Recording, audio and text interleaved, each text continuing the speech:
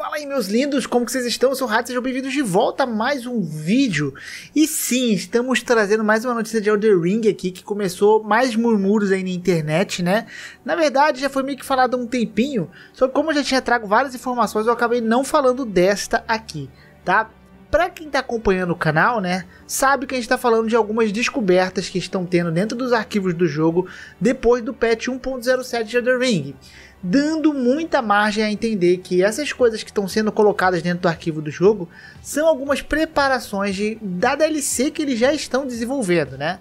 Junto com isso, nós vamos falar de um chefe que ficou mais forte no Elder Ring, mas ele é um chefezinho meio underground, aí, então a galera não tá falando muito disso não, e na verdade ele nem é muito difícil, ele ficou mais difícil, mas ele continua acho que de boa. Enfim, vamos comentar sobre essas coisitas maravilhosas, vem comigo pro vídeo. Guys, vale lembrar que a gente ainda tá com a nossa caixita aí do The Ring, tá? Então tem blusa, action figure, etc. Já estamos na reta final, nós vamos já parar de vender em breve, né? Tanto que eu tô até anunciando menos aqui. Mas, né, vale lembrar vocês ainda se você não conseguiu adquirir a sua. O link tá na descrição, a gente vai pensar numa próxima, num próximo tema, inclusive vou fazer votação aqui no canal pra vocês.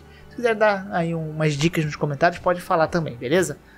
Então, né, no último vídeo eu falei que a gente teve aí algumas adições de flags dentro do jogo, tá? Como assim? Por exemplo, cada coisa do jogo, né?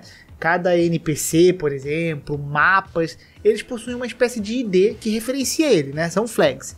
E aí a gente teve flags que mostravam, por exemplo, a adição de mais alguns vários mapas ali dentro do jogo e mapas legados, né? Que são mapas grandes, são áreas grandes do jogo. Mapa legado, por exemplo, o Castelo Stormveil, que é uma área importante do jogo, é considerada uma área legada, não uma dungeon ali mais secundária do jogo, né? Deu pra entender. Junto com isso, né, adicionaram algumas flags, se eu não me engano, os caras de NPCs também, por exemplo, dentro do jogo. O que são essas flags? Basicamente, são coisas dando a entender que Tipo, vão adicionar, mais mapas serão adicionados, é, mais NPCs, mais coisas serão adicionadas dentro dessas flags, dentro dessas referências, desses IDs aí. É como se, assim, a From Software já tivesse começando a desenvolver a DLC, então ela já preparou alguns flags, e isso acabou vindo no update, tá? Porém, né, a gente não consegue puxar algo concreto nem nada, a gente só tem no código referenciando, falando, opa, tem uma coisa aqui, ó, veio uma coisa nova aí pra vocês, ó. Entendeu? E isso, cara, é uma suspeita quase, tipo, é absurda de que tá vindo uma DLC e que a gente pode ter uma DLC anunciada aí no próprio The Game Awards já final do ano. Só que não é isso, né? Porque isso daí eu já falei aqui, é notícia velha, só tô colocando vocês no local. Agora, né? O próprio cara que tá descobrindo bastante disso, que é o Sekiro Dubra, que tá fazendo um trabalho incrível, cara.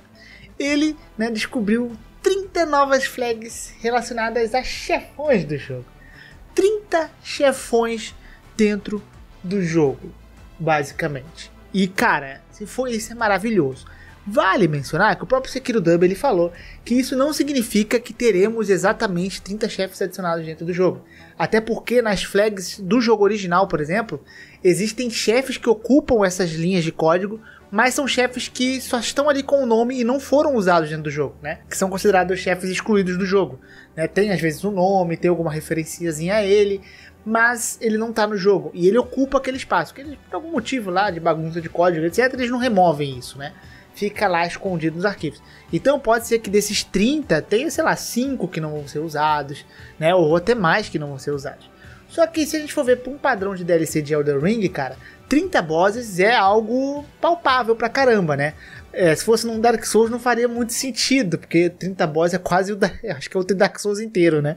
No Elden Ring 30 boss não é muita coisa, são o quê? 160 e pouco, 200 boss, sei lá, é muito chefe Elden Ring, né? É, óbvio que desses 30 bosses não são 30 bosses é, é, principais, né? São aqueles bosses que a gente tem muitos que são meio reciclados das dungeons, mas são 30 chefes, tá? É, que podem vir aí, inclusive, por meio de DLC. Outra coisa que eu sei que muitos podem ter uma dúvida é: pô, então quer dizer que vai, tipo, é fixo esse número de 30? Não, a From Software pode, num update futuro, ou quando sair a DLC, por exemplo, ter mais bosses ali. Isso aí acabou meio que saindo no código junto com o update, tá? Mas isso não significa que isso é o que vai acontecer. Pode ter mais coisa, pode ter até menos coisa, mas eu acho que vai ter mais. E se for nessa linha de 30 ou até mais chefes, dependendo, né? Porque isso aí veio num update um pouco antigo, se sair a DLC, eu acredito que ela só vai sair lá para março, por exemplo. Quer dizer que a gente vai ter muito conteúdo de DLC aí vindo. Isso é muito interessante, cara. E eu fico mais animado ainda. É, é maravilhoso, né? Que a gente quer mais ver mais Elder Ring. Elder Ring tá tendo, sendo um sucesso absurdo. E o que, acontece, né? Por que eu tô falando que é, tipo, é quase certo a gente ter uma DLC? Miyazaki querendo ou não. Porque mesmo se Miyazaki não quisesse fazer DLC, maluco, eu acho que o, a Kadokawa aqui do da FromSoft ia estar tá ali, ó. Como é que é, Miyazaki? Vai mandar a DLC sim, meu papai. Não tem como. Por quê? O que acontece, né? Junto com essa especulação de DLC, saiu uma notícia recente falando que o lucro operacional da Kadokawa em relação ao ano passado foi de 1100%. Tipo, foi 1100% de aumento que eles tiveram, tipo, 10, 11 vezes de aumento em relação ao ano passado. Isso tudo por causa de lucros de Elder Ring, cara. Tipo, Elder Ring fez a FromSoft ficar 10 vezes com mais lucro. Então, cara, se... eu falo assim, cara, o que tá acontecendo com o Elder Ring dentro da From Software e dentro da Kadokawa, né? É algo que, tipo assim, não é, não vai ficar limitado a um Elder Ring. A gente vai ter Elder Ring 2, a gente vai ter Elder Ring 3, a gente vai ter mídias de Elder Ring, como que eles falaram que eles querem fazer outros formatos, inclusive a gente tá tendo um mangá. Então, cara, Elder Ring não vai se limitar a isso aqui, não. Vai ter mais coisa. Não sei se eles vão querer fazer Elder Ring 2, né, como uma franquia, ou se eles vão lançar outro jogo sucessor espiritual, mas cara, não vai parar por aqui. Isso aí é quase certo, tá? Eu só espero que essa ganância, essa, essa grana, né, não se transforme em muita ganância e venha produtos ruins pela frente. Ou produtos mais apressados, tipo, ah, vamos lançar logo porque, pô, olha o sucesso, né? espero que isso não aconteça. Né? Até porque a gente não tem como prever isso. Mas que a From Software vai crescendo aos poucos, eu acredito que Elder Ring foi um marco novo para From Software, uma parada nova. Então a gente não sabe muito o que vai acontecer a partir daqui, né? Mas para mim é quase certo DLC, ainda mais com putz, 1100% de lucro. Tem como, né? E, né, vamos para a última parte aqui que eu falei, que é em questão de um chefe que foi aí bufado dentro do jogo. Mas ele é um chefe pouco conhecido, né? Que é o Gildeon Ofnir. Aquele boss, ele aparece, é um boss que você precisa lutar de fato, mas ele é um boss meio NPC, ele solta diversas magias diferentes, né? Ele não é um boss difícil, ele é um boss que você consegue superar até com uma tranquilidade. Se usar sangramento, então esse boss aí é um pipipopó, muito tranquilo, né? Só que agora, né, tá sendo reportado por alguns jogadores, mas tá tipo, algo muito. Quase ninguém tá falando disso. Até porque ele não é um chefe muito popular. Se fosse uma Malenia ficando mais difícil, um Radagon, um Radan, por exemplo, isso aqui já teria virado notícia no dia seguinte a barata. Mas parece que o Guidolfino ficou muito mais agressivo, ele spama mais magia, ele spama magia com mais frequência. As glintstones dele, né, aquelas magias azuis dele, estão dando mais dano nas pessoas, então ele está um chefe mais agressivo. Não sabe se isso é algo que é opcional, se isso foi algo acidental que eles colocaram no jogo, assim como aconteceu mais ou menos com o Radan ou se foi algo proposital e ficou ali no Shadow, Shadow Notes ali, né, no, no patch que vem de atualização e eles não falam no patch. Mas aconteceu e, tipo, não é algo que eu acredito que precise mudar, até porque o Guido é um chefe muito forte. Ele ficou um pouquinho mais forte agora, mas ele continua sendo 100% tranquilo de você passar por ele, tá?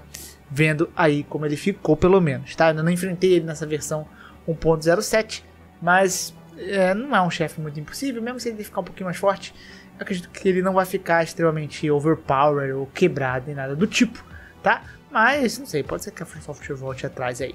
Mas, queridos, esse aqui é o vídeo, então, né, são notícias animadoras, cara, é basicamente 99% pra mim de certeza que a gente vai ter uma DLC de Elder Ring, tá? Uh, só espero que seja anunciado no The Game Awards logo, que eles anunciem e não fiquem enrolando, porque o, o Elder Ring, tipo, eles anunciaram, depois eles enrolaram pra mostrar coisa. Espero que eles não façam isso e que seja bonitinho, mais bonitinho o negócio. E é isso, meus queridos. Eu fico por aqui. Espero que vocês tenham gostado desse vídeo. Um beijo, beijo, abraço, beijo pro povo. E tchau.